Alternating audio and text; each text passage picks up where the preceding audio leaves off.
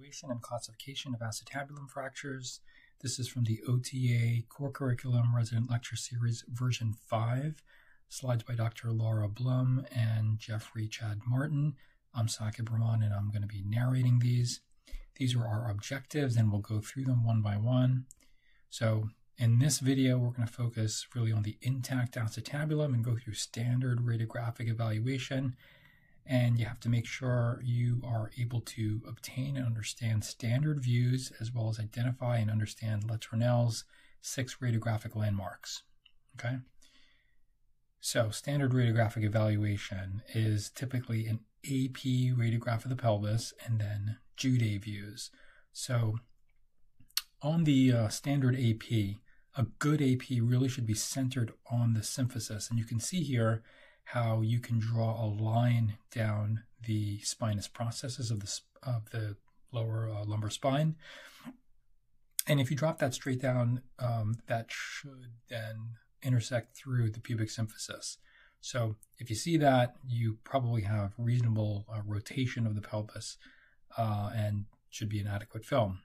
Um, there should be neutral pelvic tilt in that the coccyx is about one to three centimeters above the symphysis. And you want to look to see that the um, obturator foramen are roughly symmetric, and and you know you're gonna sort of you know you're looking at sort of this shape here, and it should be roughly symmetric, right? Now, Judet views are oblique images oriented 45 degrees to the coronal plane. So you literally tilt the patient.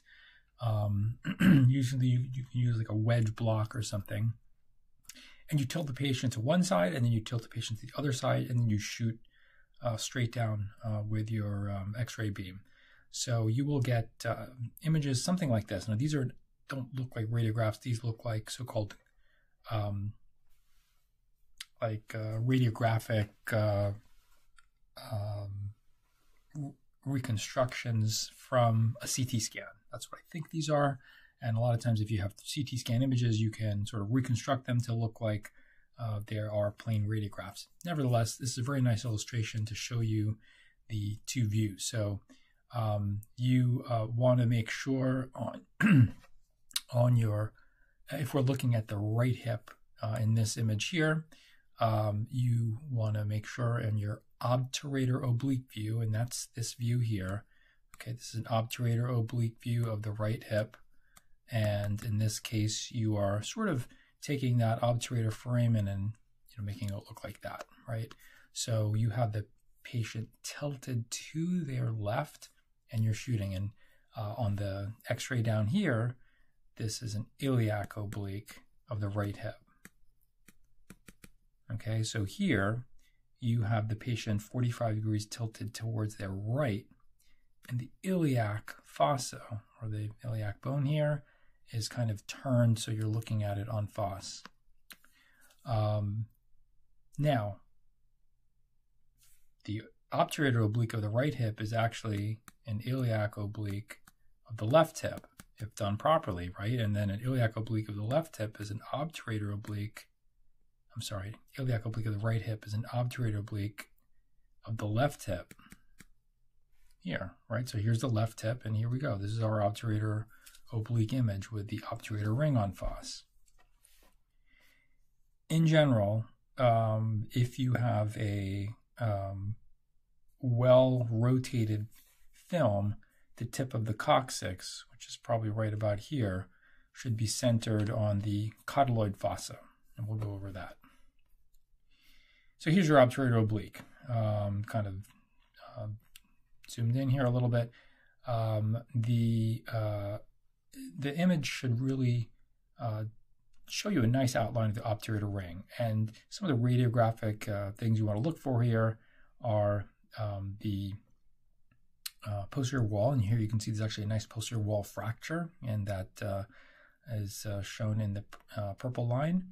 And you also see the anterior column very nicely, or at least a portion of the anterior column shown by the yellow line.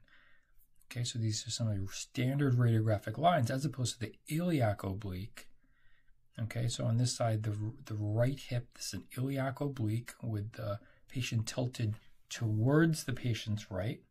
Okay, and um, you sort of are getting an face view of the iliac wing. Okay, and in this case, the obturator foramen here becomes um, somewhat not visible because it's turned all the way on its side.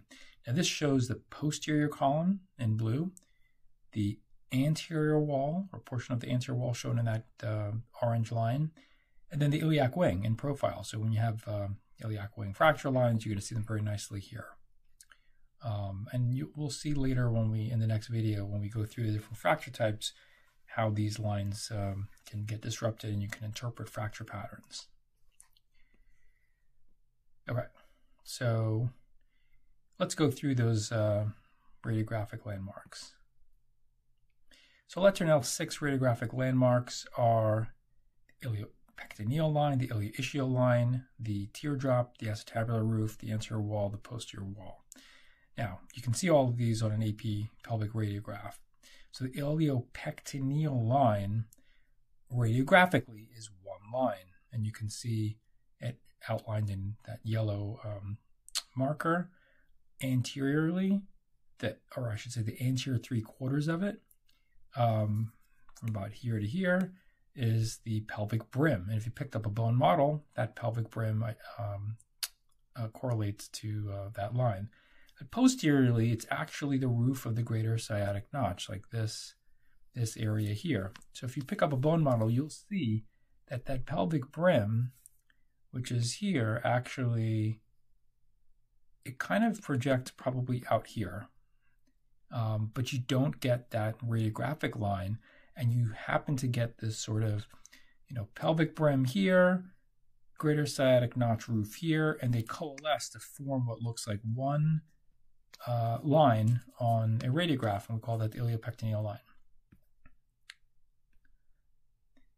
Now, the ilioischial line is shown here in blue, and that's created by a beam tangent to the posterior portion of the quadrilateral surface. Um, you know, mainly like you know, this area here. And then you can see that it um, forms a portion reaching down towards the inferior pubic ramus and then superiorly towards the sciatic notch also. But the majority of it is this um, quadrilateral surface, and uh, it's a good marker for the posterior column. Now, the teardrop is a radiographic phenomenon. Okay, there it is shown in red. You can see it on the contralateral side. It is not, you know, you don't pick up a pelvis and say, here's the teardrop, or look at a pelvis during a case and say, there's the teardrop. It's a radiographic phenomenon. Again, um, the medial limb of that teardrop is formed by the obturator canal and then the anterior inferior portion of the quadrilateral surface. Um, the lateral limb is the inferior aspect of the uh, anterior wall. Uh, and this is um, uh, the, the, teardrop kind of represents uh, maintained relationship between the two columns. And when that's disrupted, oftentimes um, it's indicative of a disruption between the columns. So the acetabular roof is another line, also known as the sourcile. Sourcile is a word for eyebrow, and uh, it's created by a beam tangent to the subchondral bone in the superior portion or the weight-bearing portion of the acetabulum, and uh, represents a superior articular surface, which um, prognostically is, is very important to be able to identify and to restore.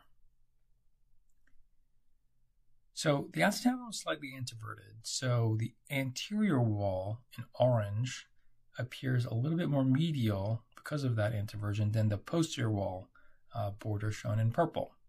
Uh, the anterior wall is also a little bit more horizontal than the posterior wall, as shown in, the, in, the, in those two lines. And the radiographic landmark for the anterior wall is contiguous with the superior border of the obturator foramen. So here are all those lines on the standard AP image. So we're going to pause there. We'll pick up with the next section in the next video.